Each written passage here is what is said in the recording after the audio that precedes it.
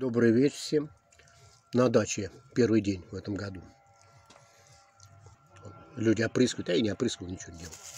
Просто траву убрал, мазулю натер. Я без рукавиц люблю работать.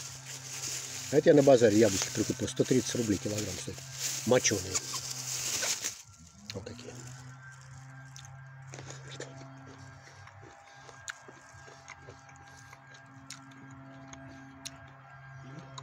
Кисло-сладкие.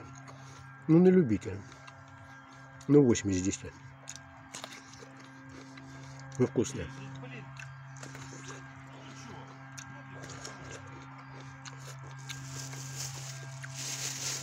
Вот, с краснинкой есть.